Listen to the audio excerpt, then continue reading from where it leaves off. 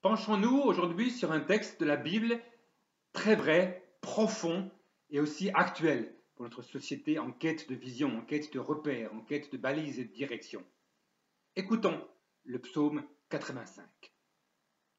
Éternel, tu as montré ta faveur à ton pays, tu as rétabli Jacob, tu as pardonné les torts de ton peuple, tu as effacé tous ses manquements, tu as retiré toute ta colère, tu as réfréné ton indignation. Oh, rétablis-nous, Dieu notre Sauveur, mets un terme à ta colère. Vas-tu éternellement être irrité contre nous? Ton ressentiment durera-t-il d'âge en âge? Ne voudrais-tu pas nous rendre à la vie, afin que ton peuple se réjouisse en toi?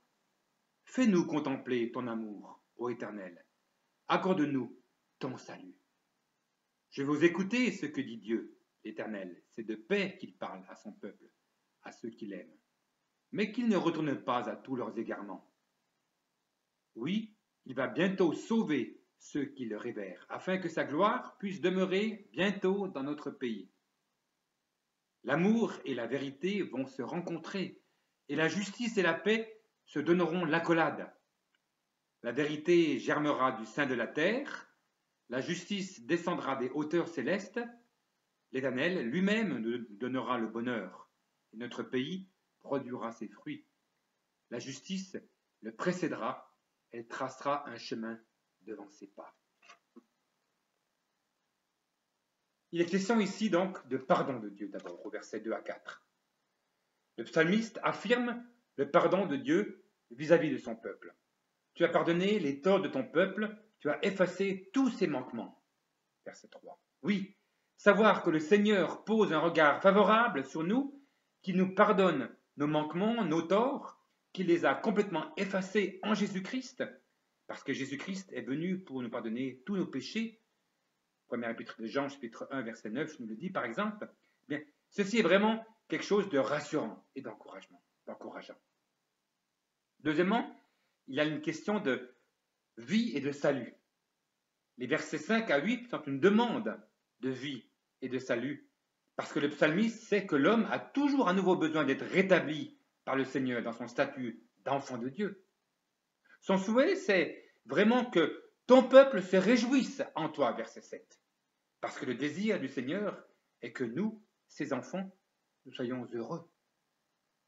le verset 8 de ce psaume 85 demande Fais-nous voir ta bonté. Le mot hébreu, c'est recède, un mot très fort.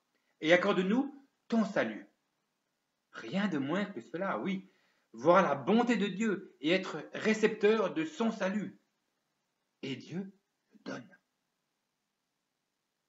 Troisième aspect qu'on peut voir dans ce psaume, c'est le temps de la réflexion, au verset 9 et 10.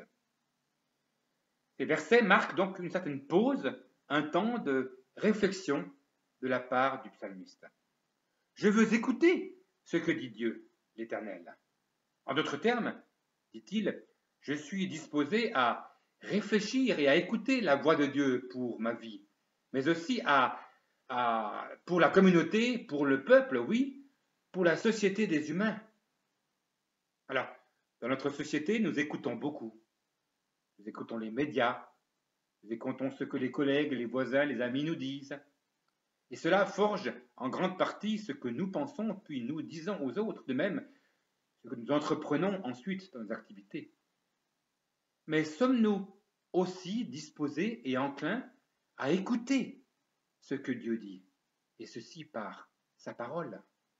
Or, que dit-il Dieu dans sa parole? Eh bien, il parle de paix à son peuple et à ses fidèles, verset 9. Oui, Dieu parle de shalom à son peuple, à toi, à moi, à vous, à nous. Il parle d'harmonie, de bien-être, de bonheur, de paix. C'est cela le shalom. Mais ensuite, le verset 9 dit ceci, pourvu qu'ils ne se retournent pas à leurs égarements. Qu'ils ne retournent pas à leurs égarements. La condition de cette paix, de cette harmonie, de ce bonheur pour ses fidèles, c'est de rester attaché au Seigneur, de lui faire confiance, de ne pas persister ou retourner dans la folie, dans l'inconstance, dans les égarements. Verset 10, oui, son salut est prêt de ceux qui le craignent, c'est-à-dire de ceux qui font confiance à le Seigneur, de ceux qui le respectent et qui l'honorent. Et ainsi la gloire habitera notre pays. Le mot employé ici est Eretz, la terre. Il y a donc une dimension aussi, je dirais, écologique la nature qui peut redevenir habitée par la présence glorieuse de Dieu. Ensuite, quatrième partie de ce psaume, c'est une perspective harmonieuse, versets 11 à 14. C'est en quelque sorte le sommet de ce psaume. La bonté et la fidélité se rencontrent. La justice et la paix s'embrassent au verset 11. Incroyable. Ce qui est annoncé, ce qui va être manifesté et ce qui est l'idée majeure de ce psaume au verset 11, c'est l'harmonie. Les quatre substantifs cités ici sont comme personnifiés. La bonté précède en hébreu. C'est donc la miséricorde, la fidélité, la compassion. Oui, Dieu nous aime immensément, tendrement. Ensuite, la fidélité, en hébreu, emet. C'est la vérité, la probité, la sûreté, le fait que l'on peut compter sur celui, en l'occurrence, en l'occurrence Dieu, qui nous la promet, qui ne ment pas, selon l'épître à Tite, chapitre 1, verset 2.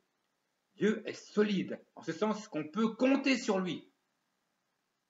Il y a ensuite la justice, tzedek en hébreu. C'est ce qui est droit, honnête, mais cela va bien au-delà puisqu'il y a aussi la notion de miséricorde, de générosité, même de salut.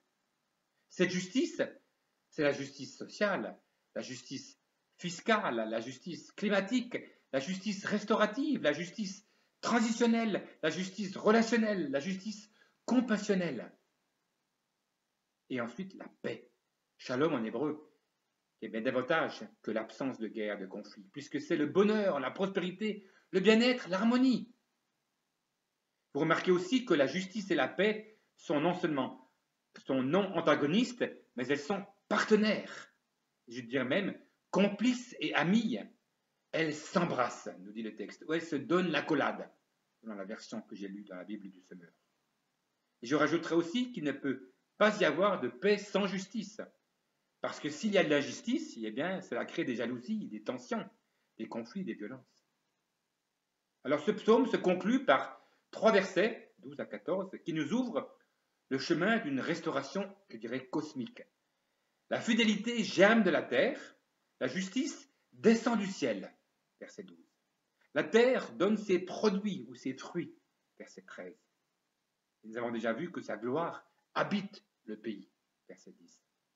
C'est en effet une sorte de restauration de la terre, de la nature, une écologie renouvelée qui est promise avec la justice qui trace un chemin devant ses pas, verset 14.